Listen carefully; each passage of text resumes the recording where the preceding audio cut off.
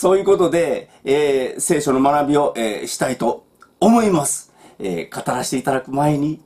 お祈りをします。天の地の神様、今日もあなたが私たちに語ってください。主イエス・キリストにないとお祈りします。アーメン。はい。えーとですね、えー、今日もあのー、ローマ書を学びますけども、え、ー、とね、先週私、風邪ひいて、しかもあの、コロナ、コロナウイルスや言われて3日間ぐらいね、あの、ごつ熱出てたんですけど、あの、今週はもう元気になってます。で、まあそんな中でね、あの、やっぱり、ごつ高熱にうなされてる時っていうのは、まあ、コロナ言うてもね、なんちゅうかな、あの、まあ、早しは風、風、風っていう感覚なんですね。私、風邪ひいたい。まあ、あの、過去にもね、当然、あの、何回も何回も風邪をひいてるわけですけど、ただね、なんかものすごくなんかしつこい、あの、ちょっときつい風邪いう印象かな。でもその高熱でうなされてる間、まあ、まあ、まさか死ぬとは思ってないけども、でもね、あの、やっぱり、コロナで死んでる人いるじゃないですか。あの、え、志村けんも死んだなとかね、思いながらね、寝てるとね、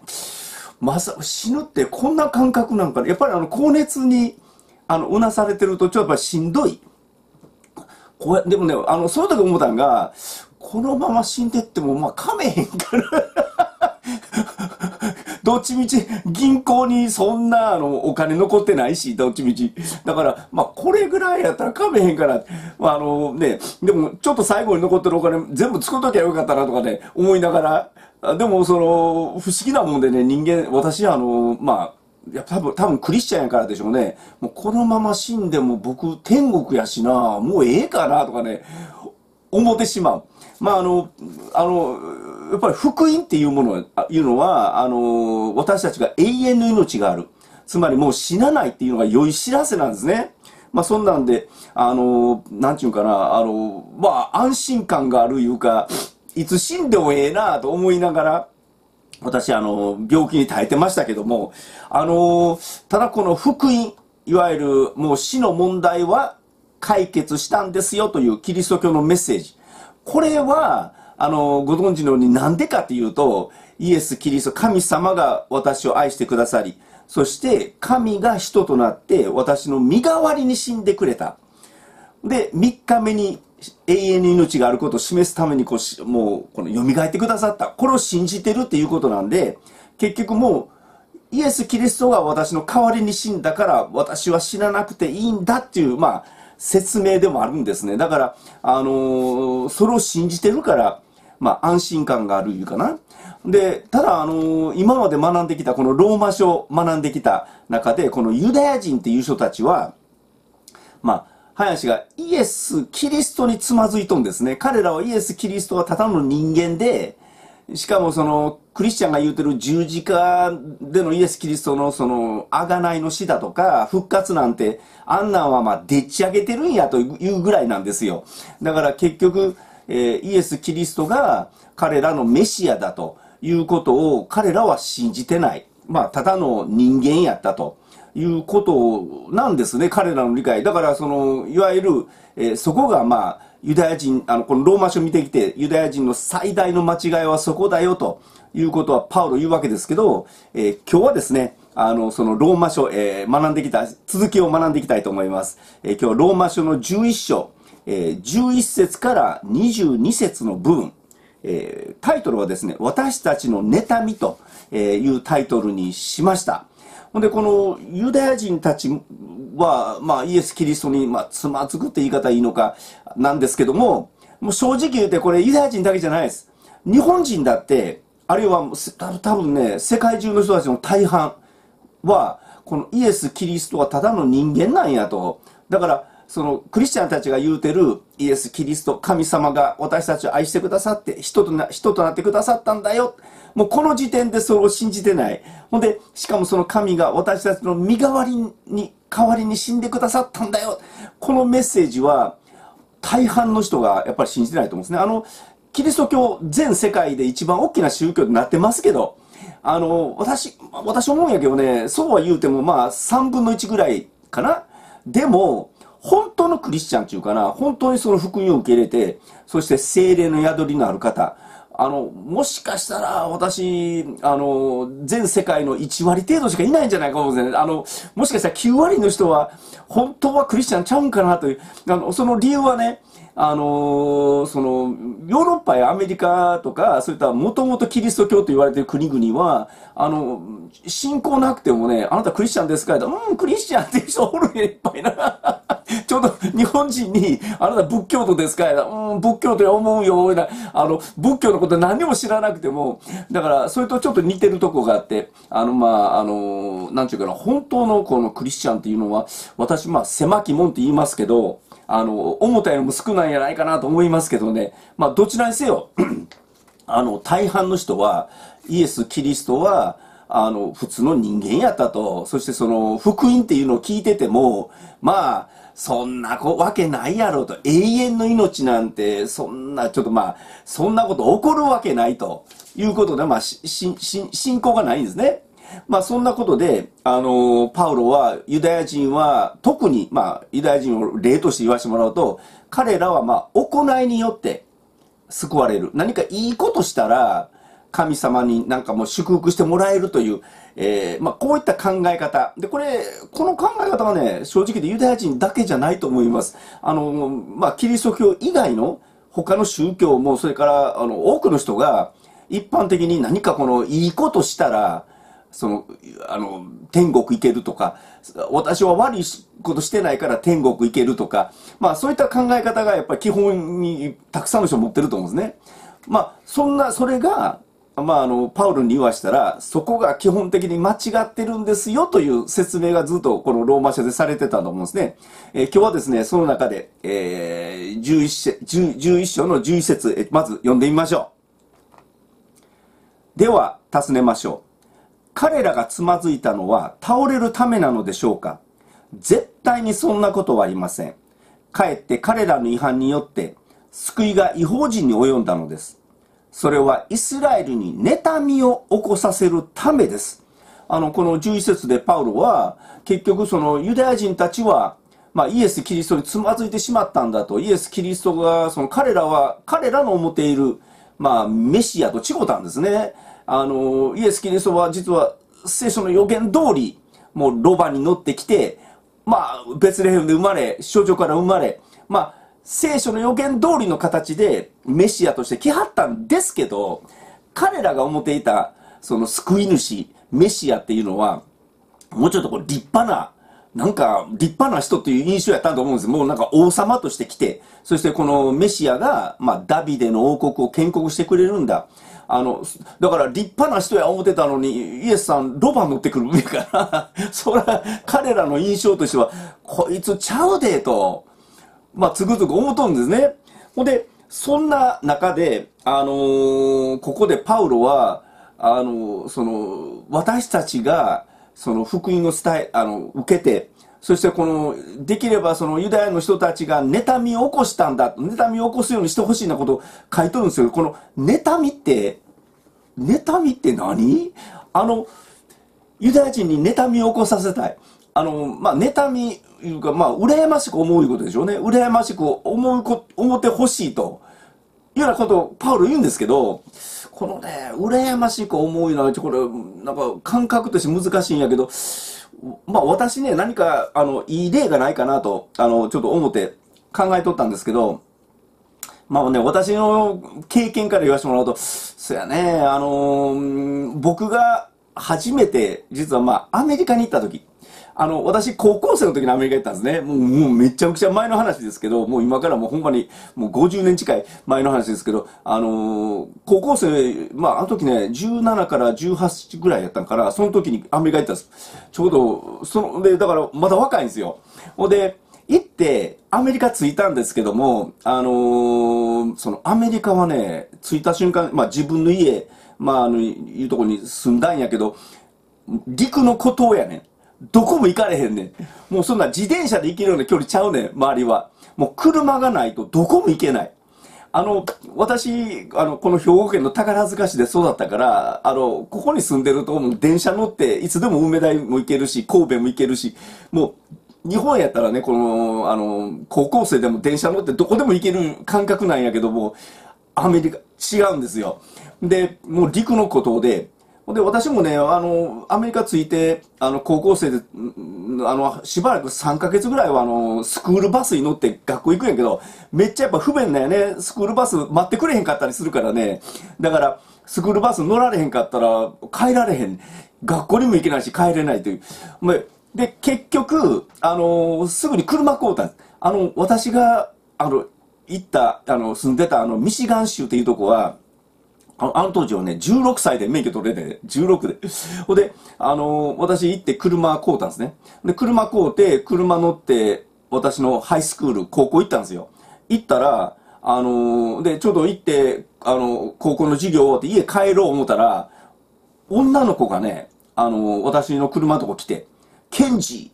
乗してくれ言うんですね。ええー、と思って。ほんで、どうしたんって聞いたら、その女の子が、アメリカ人の女の子が、私、スクールバスに乗り遅れた言うんですね。ああ、まあそういうこともあるかな、かわいそうに思うて、あ、ほんだら乗り、で、その子の家、家、家まで連れてったん。ほんで、車、その子の家の前の道に止めたら、その女の子が、ケンジアメリカでは、その男の子がぐるーっと車から降りてぐるっと回って、女の子の方のドアを開けんとあかんねや、言うんですよね。ええーと思って。でも、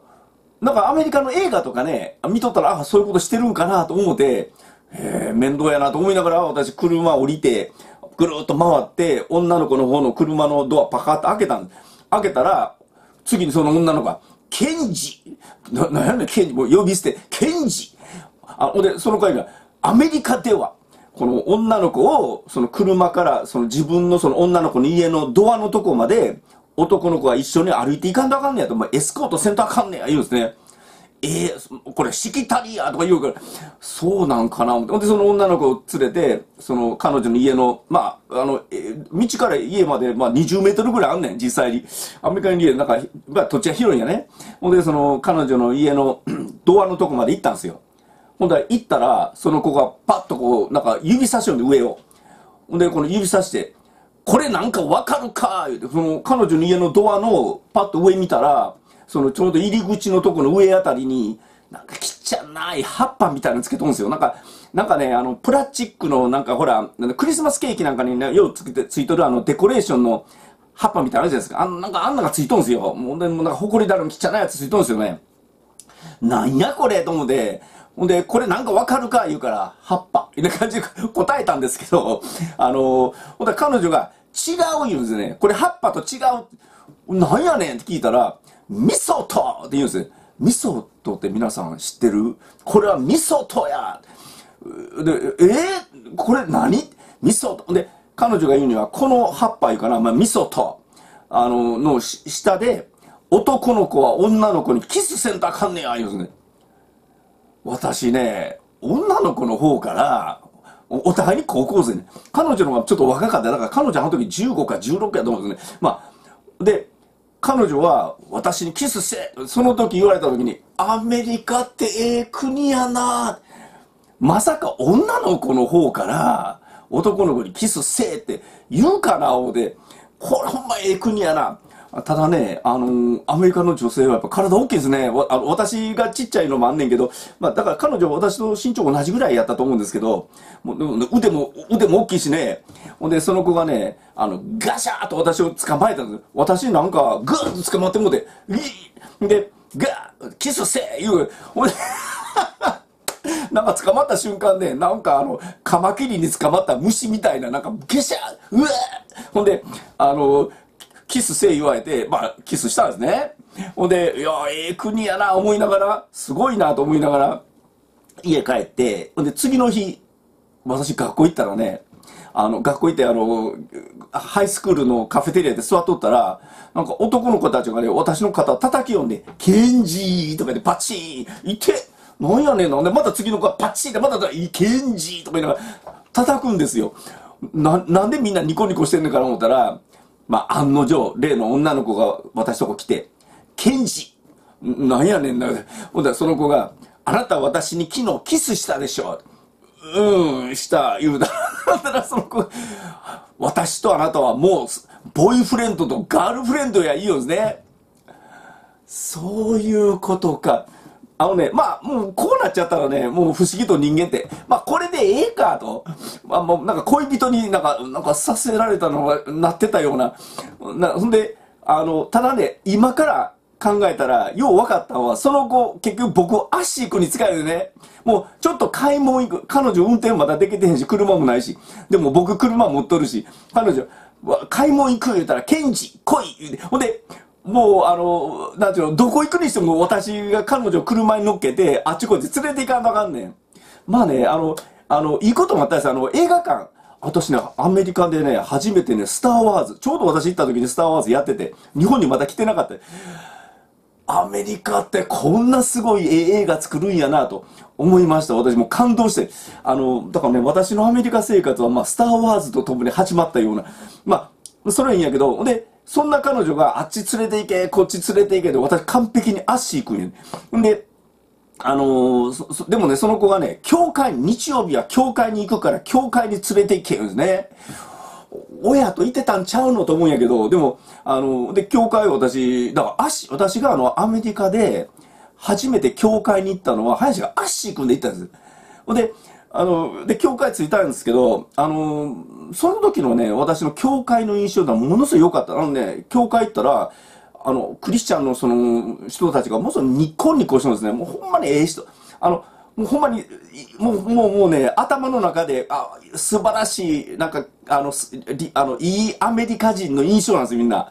ほんまに、あの、もうみんなニコニコして、あの、特にね、私覚えてるのが、その、その、礼拝の時に、あの、ひピアノを弾いてる、まあ、おばさんみたいな人おんねんけど、そのおばさんがね、ほんまにに、もう幸せそうに、もうこうニコニコしながらピアノ弾いてはんですね。ほんまに幸せそうな顔してる。で、私ね、やっぱりね、心の中で、いやー、キリスト教の教会、こう、なんか無理やり来さされてるんやけども、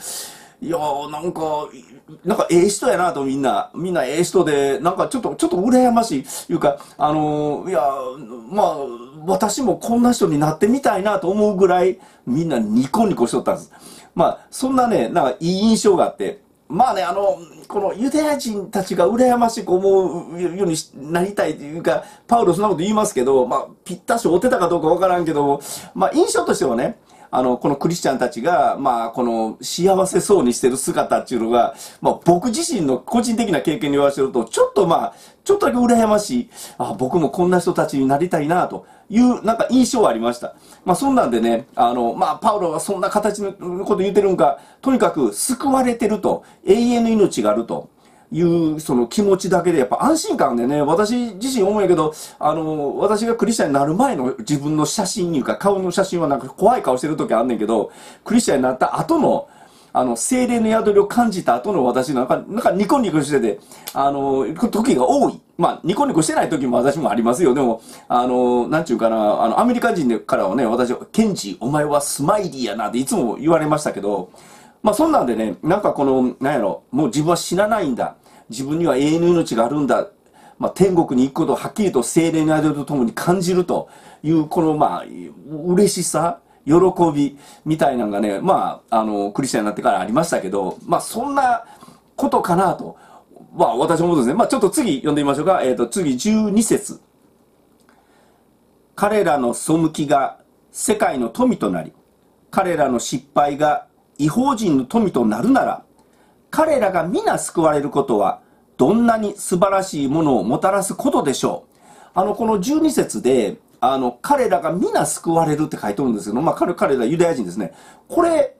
ほんまや思うというか、イスラエル人はみんな救われることはどんなに素晴らしいことでしょう。あのね、これ、ちょっと残念なんやけども、今読んだ場所、あの、あ、あのまあ、赤字の部分やね。これ、えー、っと、新海聖書の2017年度版はこういうふうに訳されてるんです。ただ、ここの訳、皆救われるいうのは、うん、まあ私の目から見たら聖書にそう書いてないんですね。あのー、この2017年のあの、ちょっと前、あの、まあ第3版っていうかな。まあね、これ難しいけど、私の今の意見としては第3版の方がオリジナルの原文に近いように思いますけどね、第3版公約してます。えっ、ー、と、ちょっと次読んでみますね。もし彼らの違反が世界の富となり、彼らの失敗が違法人の富となるのなら、彼らの完成はそれ以上のどんなにか素晴らしいものをもたらすことでしょう。あの、ここで彼らの完成って書いてるんですけど、あの、ギリシャ語ではこっちの方が訳として近いです。あの、ギリシャ語のオリジナルは、えー、まあ、プレローマ。彼らがプレローマになることはどんなに素晴らしいことか書いてるのこのプレローマっていうのは、いわゆる完成とか、満ちるとか、そういう意味なんですよ。だから、その、2017年は訳された先生、あの、もしかしたら共同訳聖書の方の影響を受けたんかどうかわかんないんですけど、あの、みんな救われるっていうのは、その訳した先生がそう思ったから書いたんやと思うんですけども、でも、あの、聖書自身は、えー、彼らが完成する、あるいは彼らが満ちる、あの、ことはどんなに素晴らしいことか、いうふうに、まあ、訳すべきかなと私は思いますけどね、あの、英語の聖書の大半が、ここは彼らが完璧に元に戻るのはどんなに素晴らしいことかとか、彼らが本当にその、まあ、フルネス、えー、本当にその、信じて、そして元に戻る、あるいは本当に救われることがどんなに素晴らしいことかな感じの意味で訳されてるんで、みんな救われるような、ちょっとこう、訳しすぎかなと、私は思うんですけどね。まあ、どちらにせよ、あのー、ユダヤ人たちは、イエス・キリストに、まあ、つまずいている。イエス・キリストが彼らの理解している神様の像、あるいはその救い主の像と違っている。あの、イエス・キリストはこうあるべきやという彼らの考えに対して、まあ、本来であればですね、彼らこそ、あのー、その神の約束があり、あの、救われるべきなのに、彼らはそれを信じない。イエス・キリストを信じなかった。そしてイエス・キリストの十字架にせよ、復活にせよ、彼らはまあ信じてない。まあ、復活は嘘やと。あの、ユダヤ人たちが、そもそもイエス・キリストを殺した最大の理由は、彼らはイエス・キリストが自分が神様や言うて、神を冒涜しているのが最大の理由やったんですね。あのヨハネ書の10の33に、こういう記述があの覚えてあります？ユダヤ人たちはイエスに答えた。良い技のためにあなたを石一にするのではありません。冒涜のためです。あなたは人間でありながら自分を神とするからです。あの、結局、あの、ユダヤ人から見れば、こんな野郎が何言ってんねんと、自分が神様や、あの、あの、言うてると。で、そんなん許せない。言うて、まあ、十字架にかけろってやっとるわけですね。でも、その、あの、なんていうかな、あの、ここで、一つだけはっきり言えることは、また多くの人が同じようにイエス・キリストなんて、あんなん、あの、嘘やと、キリスキリスト教は嘘や言うてる人もたくさんいるのはわかるんですけど、ただ一つだけはっきり言えることは、私自身自分の経験から言わせてもらうと、やはりそのクリスチャンになって、そして自分に永遠の命がある、いうことが理解できると、なんかね、やっぱり平安なんですね。精霊の宿りとともに、言いようのない平安がニコニコしてるいうか、あの、はっきり言えることは、もう何何十万人、何百万人っていうクリスチャンたちが、みんな自分の人生が変わる。これは間違いないです。あの、クリスチャンになった方々は、みんな、あの、まあ、人が変わる言い方いいのかな。で、この、喜びの世界で私たちいてて、まあ、ちょっと幸せなんやね。なんかじゃないけどね。そんな、これだけは変えようがないです。まあね、そんなんで、これがまあ、いい証になるんかなとは思いますけどね。まあちょっと次読んでみましょうか。そこで、違法人の方々に言いますが、私は違法人の人ですから、自分の務めを重んじています。そして、それによって何とか私の同国人に妬みを引き起こさせ、引き起こさせて、その中の幾人でも救おうと願っているのです。あのパウロ、非常に面白いこと言うてるなと思うんですけど、あの、ここで違法人の方々へってわざわざ書いてるとこ見ると、あの、やはり、ローマ、ローマ書、ローマの教会には、まあ、二つのグループがあって、まあ、ちょっと今まではこのユダヤ人に対して書いてたのに、ここからはちょっと違法人の人たちに、ちょっと違法人の人たちちょっと聞いてほしいと。で、特に彼は自身は私は違法人へのまあ使徒として選ばれていると。ほんで、だから違法人のよう聞いてくれと。あなたたちが、まあ、まあ立派に生きているかな。彼ら、あなたたちのクリスチャン生活が、その、できれば、その、そうじゃない人たち、あの、自分の行いによって神に認めてもらおうと思っているユダヤ人たちに、から見てですよ。あの、まあ、羨ましく思えるような、になってほしいと。そのことによって、一人でも救われてほしいなんてことをパウロは書くんですけどね。あのー、まあね、私、やっぱり思うのに、あの、あの、何かみんな救われてほしいから、無理やりなんか、いい子ちゃんぶるいのはおかしいと思うんですけど、でも、私たちクリスチャンが、やっぱり精霊の宿りがあると、まあ、自然と、あの、喜びと平安に満たされてる、その姿っていうのは結構貴重なんやと思うんですね。あの、マタイ書にもこういう箇所があるじゃないですか。マタイの5の16。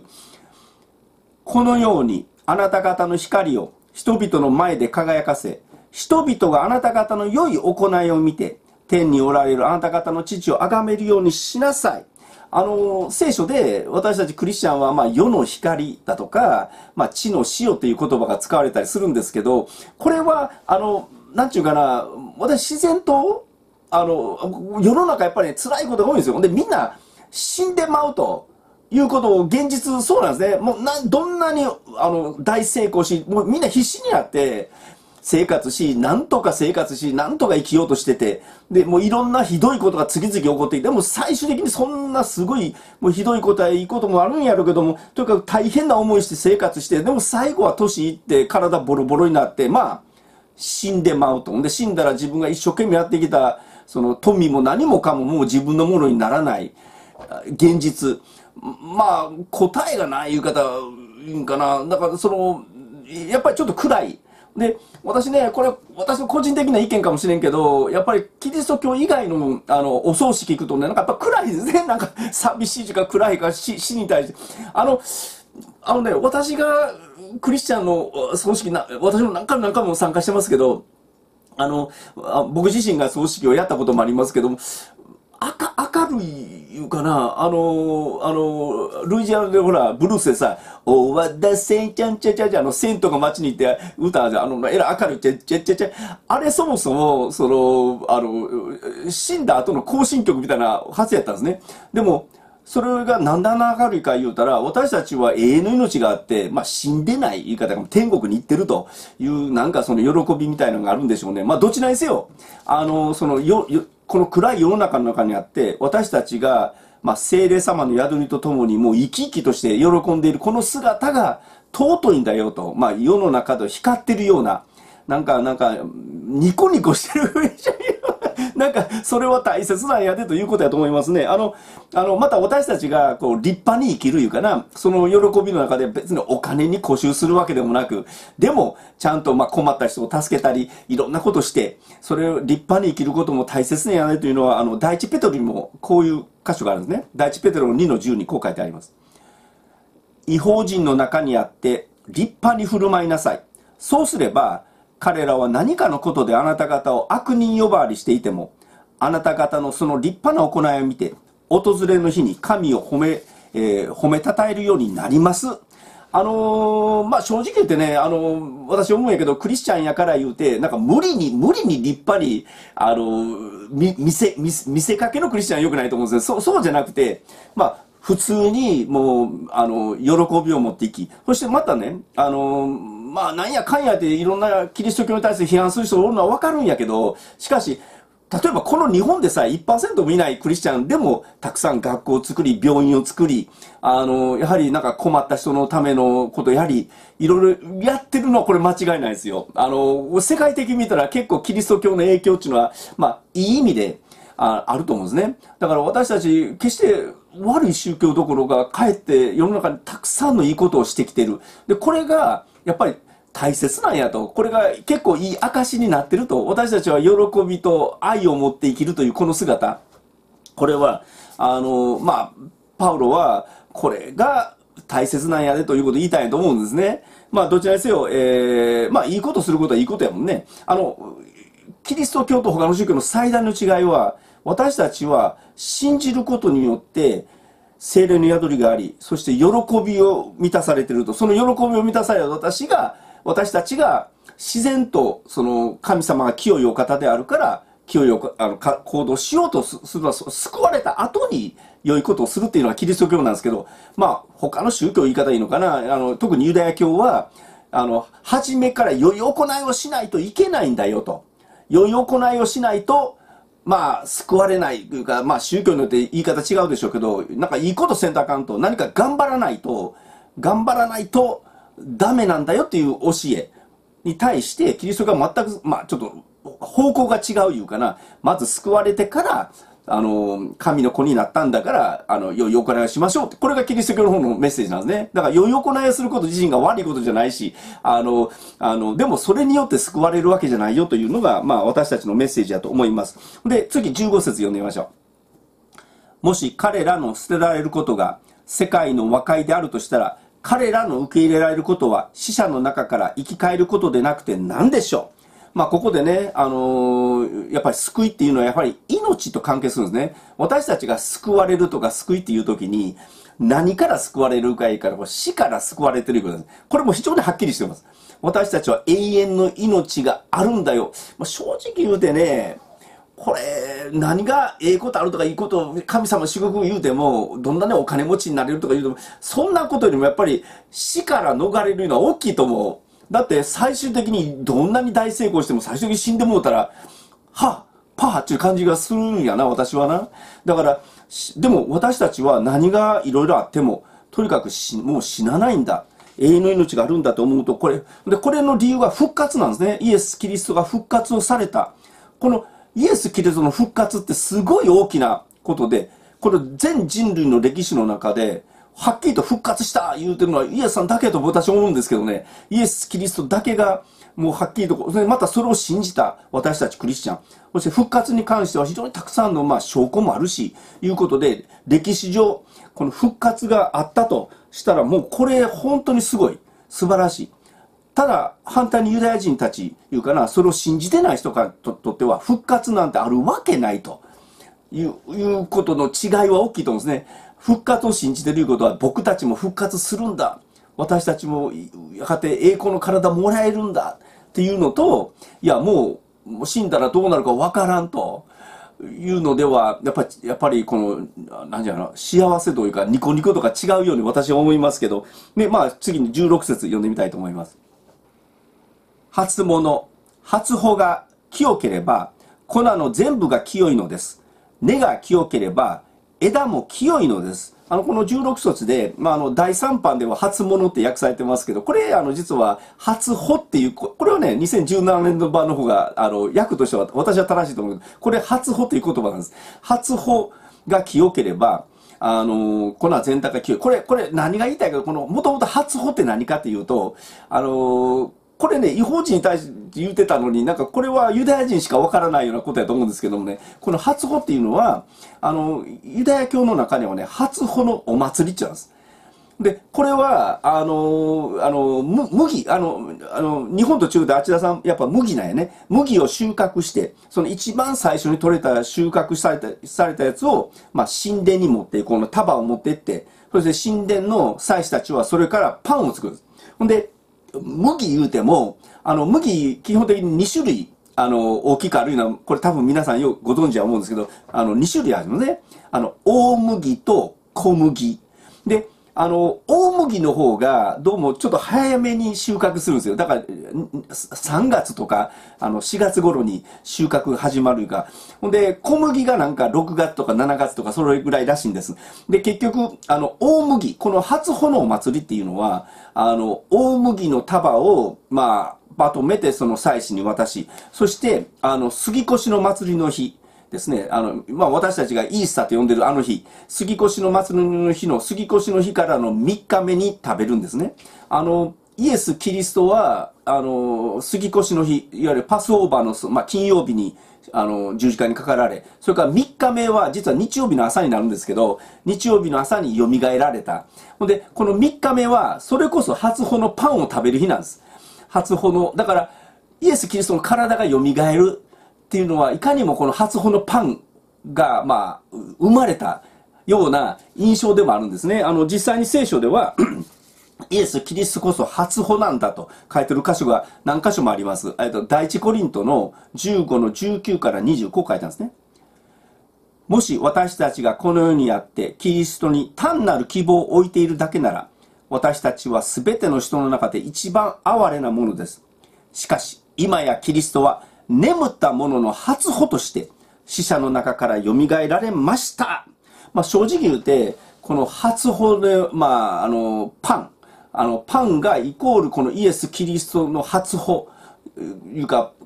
復活された体を示しているような、まあ、印象いうかな。ほんで、あのー、聖書は私たちクリスチャンも、実は復活しますよと。ほんで、私たちは実はその、やがて私たちは復活する。私たちがやがて神の御国に入ると。この保証として精霊が宿っているんだ。あの、私たちに精霊の宿りがある、霊の宿りがあるいうのはもう私たちが永遠の命があるんだということを確実に保証しているもんだ。とも、聖書、まあ、書いてくれとんですね。あの、私たちクリスチャンも初歩なんだよっていうのは、えっ、ー、と、例えばローマ書の8の23にこういうことが書いてあります。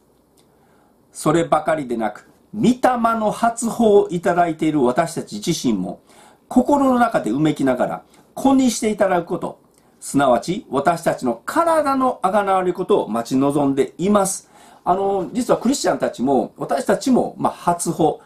として、で、あの体が、私たちの場合はイエス・キリストが復活されて、イエスさんも復活されて、そして栄光の体を持ったと。で、このイエス・キリストと栄光の体と同じ体は、まだ私たちもらってませんけど、まだ私たちこのアダムの体の中にいますけども、でも、やがてこの、あの、この今着てる体を捨てて、そして私たちはまあ、あの、やがて、あの、イエス・キリストのと同じ栄光の体をもらえるんだと。だから私たちは、まあ、私たちも初歩。で、なんで、イエス・キリストが初歩いうのは初めての方やからそういうの分かるんですけど、私たちイエスさんの後やのになんで初歩や、初歩や、思うかもしませんけど、これは私たちはなんと全ての被造物、すべて神様が作った、まあ、正直言って、あの、まあ、牛や馬や猫も、みんな死んでまうようになったっていうのは、私たちのアダムの罪が元になってるという聖書の理解ですから、死そのものがなくなってしまう。で、私たちが、その、あの、栄光に、栄光の体もらって、もう永遠に生きる。私たちがもう死なないということは、他の被造物にとっての私たちは初歩なんだ。いうことなんですね。これ、あの、えっ、と、ヤコブ書の1の18にもこう書いてあるんですね。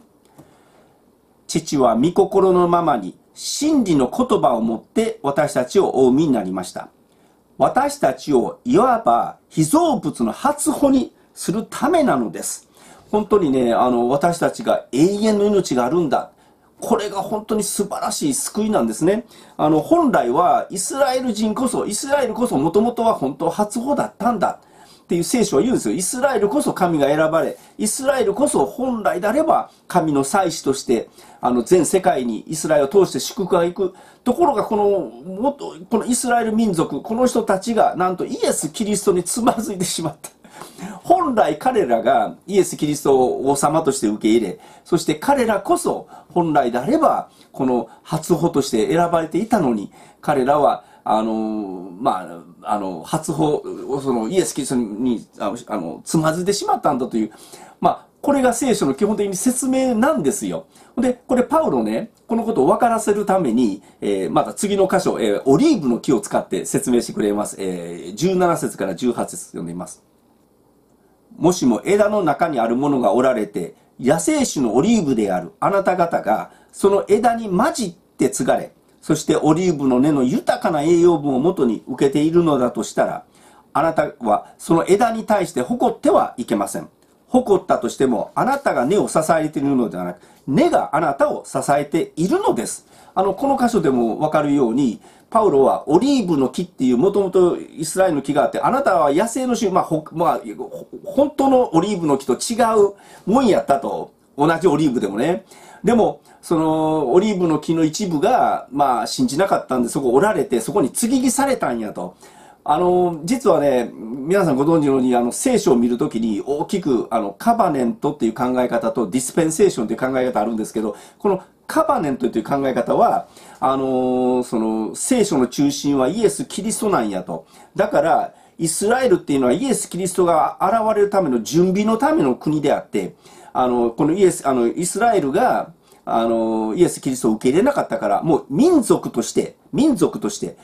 イスラエルとはもう関係なくなったんだ。教会が、その、イスラエルの祝福やとか、約束は全部教会になったんだ。教会が新しいイスラエルなんだ。これがカバネントの考え方。でも、ディスペンっていうのはまた違って、あの、神様の約束は変わらないでしょと。その、この先ほどのオリーブの木の説明と同じように、あの、そもそもイスラエルっていうのは土台がちゃんとあるんだと。このイスラエルの中の枝の一部がおられて、私たちは今は、その違法人の時代だとか、まあ、教会の時代と呼ばれている時代になってるんだよと。そして、この、この時代はやがて終わって、またイスラエルの、に戻るんだよと。これがディスペンの考えなんですね。あの、どっちが正しいとか間違ってるということで、これ学説として、あの、同じ福音派の中でこういった大きな考え方2つあるんですけども、あの、まあ、この17から18節の部分を読むと、あの、私は個人的にはディスペンの方が正しいとは思いますけどね。でも、だからといってそれが、あの、どうだっていうわけでもないですけど、まあ、どちらにせよ何が言いたいかだ、パウロは、このイスラエルっていうこのオリーブの木があって、その一部の枝が折られて、そのあなたたち継ぎ足されたんやから、まあ、ええ格好したらあかんよと。このオリ、あの、元々のオリーブの木ですら、神様、信仰がなかったら、まあ、捉えてしまうんやから、あなたたちは、あの、信仰を失ったらあかんよっていうことを言いたいと思うんですね。あの、今日最後の部分、えー、19から20読んでいます。枝が折られたのは、私が継ぎ合わされるためだとあなたは言うでしょう。その通りです。彼らは不信仰によっておられ、あなたは信仰によって立っています。高ぶらないって、かえって恐れなさい。なんか恐れなさいって最後も終わってますけど、あの、やはり、主を信じる、イエス・キリストのこの福音を信じるっていうことによって、それによってのみ私たちには栄光、永遠の命が与えられる、栄光の体が与えられる。これ、どこに、どこ、なんでユダヤ人たちがつまずいたか言ったら、イエス・キリスト、つまり彼らが神様に対する考えが全然違ってたということなんですね。彼らの思ってる神様と、私たちが理解してる、あの、キリストクリスチャンが理解してるあの神様は、言葉なるお方が、あの、マリアちゃんという女の子の体を使って、体、あの、人としてイエス様生まれたんだ。だからイエス・キリストは人間ですけども、体は人間ですけども、その言葉は神の言葉なんだ。神の言葉が人になったんだという。だから、だからイエス・キリストが十字架にかかるような、あの、人としてかかってくださった。これ大きな意味があるんですね。だから私たちの身代わりになれたし、えー、そして、あの、イエス・キリストの死によって、私、イエス・キリストが死んだから、私は死ななくていいんだよという、こういう、まあ、理解なんですよ、キリスト教はね。ところが、その神様っていうことに関して、ユダヤ人たち、まあ、まあ、他の宗教も、多くの他の宗教も、やっぱ違うんですね。何かこう、まあ私たちから見たらちょっと勘違いしてるなと思ってしまう。あのね、まあ、あのー、これ、どっちが正しいとか、神様について考えが間違ってるという言い方、あの、あの、これ言うと、ちょっとなんか、私ね、ふとね、あの、戦前の日本、あ戦争する前の日本、今からほん80年ほど前の日本っていうのは、まあ、天皇陛下が神様言った時期なんですね。あの、日本は神の国やから、もう 戦争に負けないって言ってたの。あの、これほんのちょっと前やで。あの、私たちの親か、そのおじいちゃんの時代は、もう日本は戦争に負けない。なんでかって神の国やから。でも、実際には負けてしまった。負けてしまった後、わざわざ天皇陛下は、あの、人間宣言せんと私人間ですって言わんとあかんぐらい、日本人は、えー、天皇陛下神様なんかなと思ってた人たちがたくさん結構いたんじゃないかなと思いますね。でも、これの基本的なまあ、あの、どこ、ど、どういうことかで、これ神様に関する考え方が、まあ、まあ、反社が間違ってた、違っていた。あの、その人間が神になろうとしていた。あの、実は先ほど恐れなさいという言葉ありましたけども、あの、世が終わりになると、なんと、この人間が自分、まあ、反キリストが出てきて、反キリストは自分が神様で言い出すようなところがあるんですね。そもそも、そもそも、あの、私たちがあのその、救われるのは順番があると。ほんで、第二、第一コリントの、えー、15の22から23読むとこう書いたんですね。しかし、おのおのにその順番があります。まず、初歩であるキリスト。次にキリストの再臨の時に、キリストに属しているものです。それから終わりが来ます。その時、キリストはあらゆる支配とあらゆる権威、権力を滅ぼし、国を父なる神にお渡しになります。あのー、私たちクリスチャンはイエス・キリストが再臨される時に、実は栄光の体をもらえる。まずイエス・キリストが発音として栄光の体をお持ちになり、で、私たちクリスチャンはですね、あの、その、イエス・キリストが戻ってこられるとき、まあ、私たち具体的には空中再臨って言うんですけど、そういう時に景挙があって、私たちは生きてるクリスチャンは途中で変えられるけども、あの、今まで死んでいたクリスチャンもその時に栄光、白い衣が着せられて、栄光の体がもらえる。しかし、その後に終わりが来ますよ。で、この終わりが来た時に、なんと、あのー、その、反キリストが出てくるっていうんですね。あの、ちょっと読んでみましょうか。第二テサロニケの2章の3から4。誰にも、どのようにも騙されないようにしなさい。なぜなら、まず、廃墟が起こり、不法の人、すなわち滅びの子が現れなければ死の日は来ないからです。彼は全ての神と呼ばれるもの、また礼拝されるものに反抗し、その上に自分を高く上げ、神の宮の中に座を設け、自分こそ神であると宣言します。なんと世が終わりになると、あのー、またクリスチャンがみんないなくなった後はですね、なんと反キリストが自分が神神様言い出すと。ほんで、神様に対して、まあ、あの、私たちが理解している神様と違う、まあ、間違ったいうかな、私たちから言えばですよ。間違った神の考え方の人たちはみんな騙されると。しかも騙すときに、たくさんの嘘、嘘が元に、まあ、フェイクニュース、フェイクニュースが元になって騙されるんやいうことは同じ第二テサラルキの2の9から10に書いたんですね。不法の人の到来は、サタンの働きによるのであって、あらゆる偽りの力、印、不思議がそれに伴い、また滅びる人たちに対するあらゆる悪の欺きが行われます。なぜなら彼らは救われるために真理への愛を受け入れなかったからです。あの、私たちは神様私たちを愛してくださったんだ。それに応えて、そして神様を信じるということをやったんですけども、多くの人が、やっぱり神への愛、神、この福音を信じない。そして彼らは嘘によって騙される。あのね、フェイクニュース意味ではね、あの、つい最近トランプさん撃たれましたけど、トランプさんは、もうこのマスゴミかな、マス、マスコミが私を無理やり悪者にしてると。私そんな悪いちゃう言うて、トランプさんやりよるわけですね。ほんまか、どこまでほんまかな。あの、トランプさんじゃなくても、私が今この住んでる兵庫県。兵庫県ですら、つい最近ね、あの、兵庫県の知事さん、兵庫県の知事さんがなんかパワハラやった言うて、ある人がなんか言うて、でも調べてみたらそうやなかった言うて、で、その、その人はクビになったら、や、やっぱりパワハラのちゃうかってまた誰かが言い出して、ほんで、兵庫県の知事を調べる言うてたら、その、言うてた、もともとパワハラや、やってるって言うてたその人が、なんと自殺したという、証言する言うてた人が自殺で、いや、私たち、私兵庫県民ですけど、あの、ええー、あ、あの、どないなってんねんと思いません、まあ、表現見て私、あの、実際のアメリカ市民なんやけども、だから、あの、正直言うて、何がほんまなんやろうって、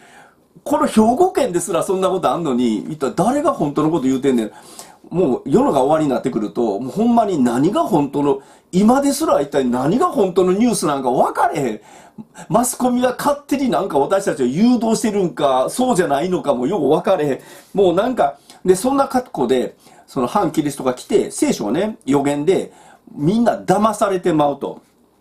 恐ろしい話は多いで多くの人が騙され、多くの人がイエス・キリストは人間や神様と違う、そして神様の愛なんかない、永遠の命なんかない、イエスが、クリスチャンが言うてるその十字架の死やとか、その復活なんて全部デタラメやと言うてる方を信じる